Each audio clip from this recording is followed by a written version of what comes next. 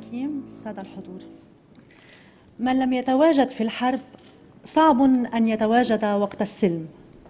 كلمات لحكيم قضى في سجن أربعة آلاف ومائة وأربعة عشر يوما. زنزانة أعاد إنشاءها كي لا ينسى أبدا مسيرة النضال. سرداب يحملك إلى مصير محتم عليك التعايش معه وذنبك الوحيد أنك أبيت الخنوع لوصاية نظام القتل والاعتقال. تصل إلى البلانكو مكبل اليدين معصوب العينين لتذاق التعذيب أطباق. من إخوة في وطن أسير دائرة غاشمة حمقاء.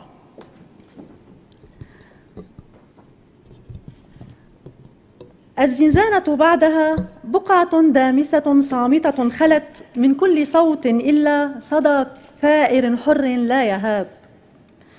تحوي سريرا لجسد أسير روحه معلقة بتراب لبنان وأرز لبنان.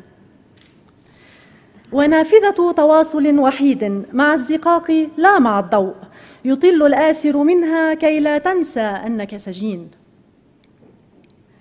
ثم مكتبة حوت كتبا كانت الأنيسة الوحيدة لعقل استنار بها فعمقت أفكاره وتأملاته لمستقبل لبناني وشرقي معافى منير.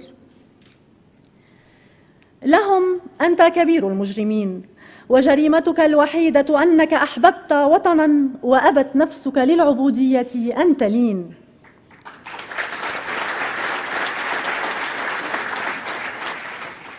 مسكين قالوا أضاع ربيع العمر في السير في قضية في عناوين وهمية لكنهم نسوا أن التضحية لأجل من وما نحب في كتاب العظماء أولى العناوين.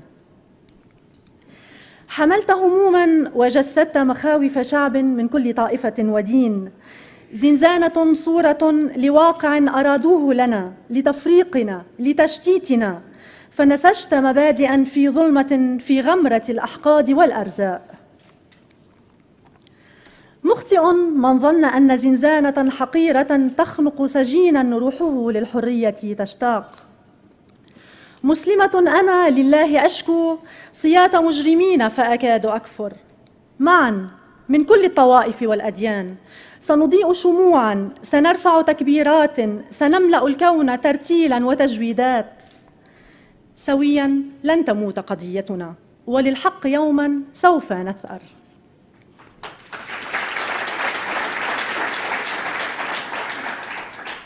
أولم يدركوا أنه مهما جار بنا الزمان وأشبعنا أسى بالحق سنصدح ونطهر الثرى بدماء الأبطال؟ دفعنا دماء بذلنا رجاء رجالا شهيدا خلف شهيد سقط. يا وصمة العار اسكني بيوتهم ما عاش بيت كل مجرم أفاك. رسمنا ربيعا عربيا مزهرا صرخات ثواره تهز الكيان. فاعلم يا طاغية مهما فرضت نفسك ووطدت حكمك واستنفرت عبيدك والتفيت حول فريستك سيكون النصر دوما للأحرار سيكون الظفر دوما للأبطال. هنيئا لنا هنيئا لكم هنيئا لمن له حكيم حر يرشده لدرب الحق وطريق الاستقلال.